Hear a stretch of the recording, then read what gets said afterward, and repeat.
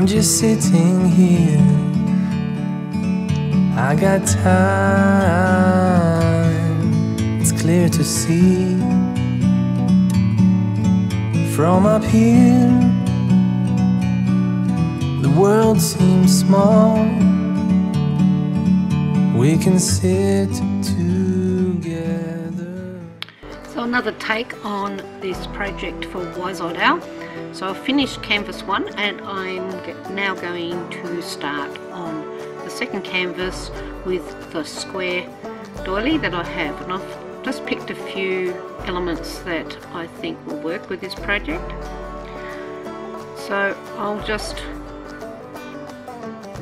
see where I go with this. I'm not sure exactly what I'm after. So I'm going to use the papers that I used to sop up the excess spray from the first canvas and add them on top of the doily to add another layer.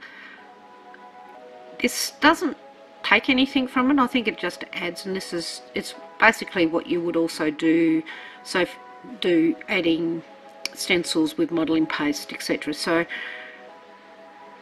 basically I'm treating the doily in this particular layout as modelling paste. So it's adding a texture layer. It's not being part of the main feature which it was in the previous canvas. So I'll just tear up some of these. I may not use them all.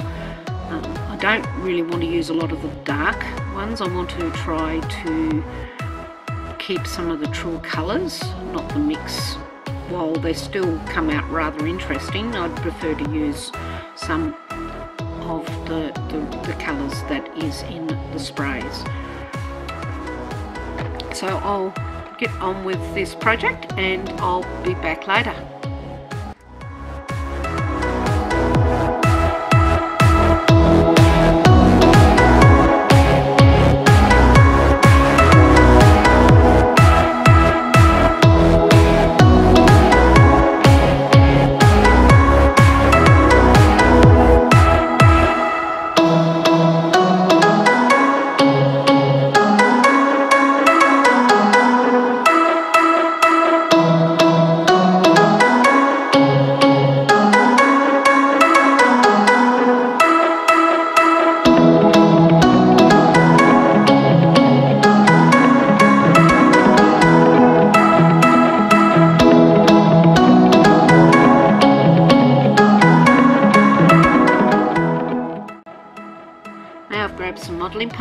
I've Liquitex Basic here. I'm going to add a dollop to the glass tabletop and I'm going to mix in some of the ink sprays into the modelling paste. This will lighten the colour and give you a different look of your modelling paste. It doesn't affect the modelling paste, it actually still retains all its features, it just changes the colour. So I'm now using here from a roll of cut out leftovers from so I'm not quite sure what Rachel told me from Was It Owl. She sent me a roll of this.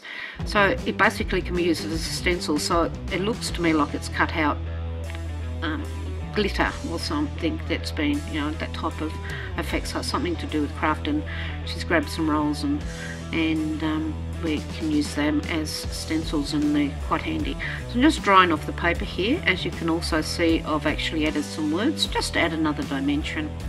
So I'll add some more dye to some more of the modelling paste and I'll add the modelling paste around the layout. I've actually gone on a diagonal from corner to corner and trying to leave the, the opposite two corners as much white or, or not as dark a colouring as the rest of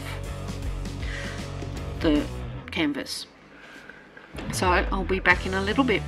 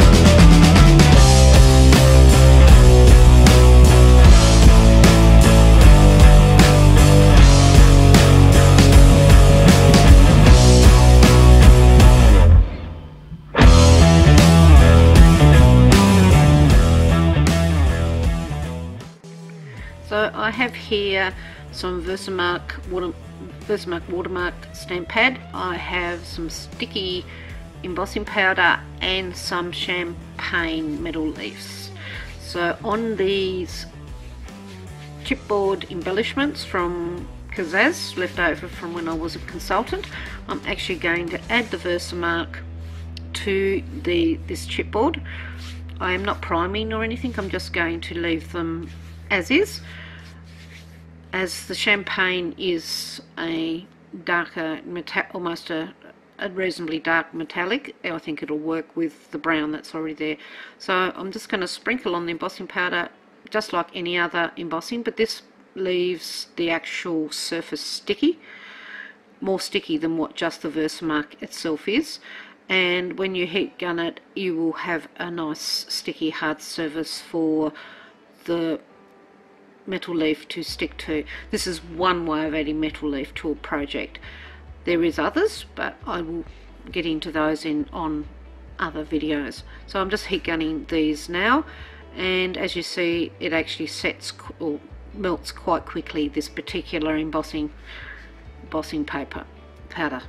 So I'm just going to add a sheet and I'm just trying to work out which is the easiest way and just using the brush isn't sufficient. I found as I was doing it and guess we forgot to wipe the Versamark off the table and yes Versamark will stick it as you can see but because it doesn't set as well it I'm not sure the result. I actually haven't tried it to be honest so I've, I've learned to do it this way so this is what I'm doing. So I'm just going to add some of the the leaf and I'm not wasting any of the leaf I'm going to add as I'm going so that there's actually as use as much as it I'm not wasting even the little speckles they'll get I just pick them up and put them on where it's sticky and I'll keep doing that until I'm happy with the result.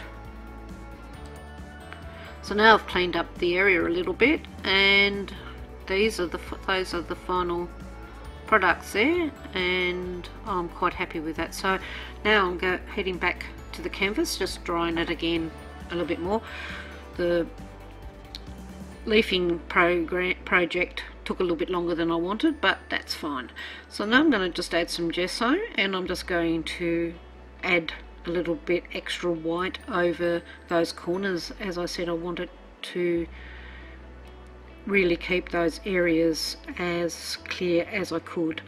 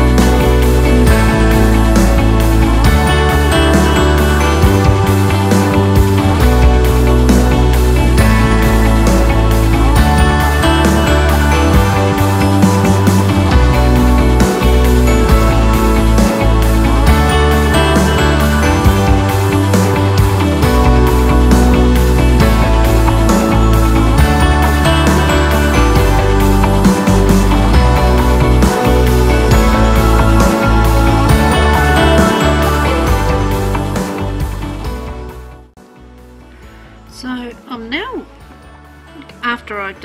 uh, stamping of the that stamp that I just used, I'm now whitewashing the background. Adding this as the liquid base rather than water, I thought I'd give this a go. This was a watered down acrylic I used in a previous project.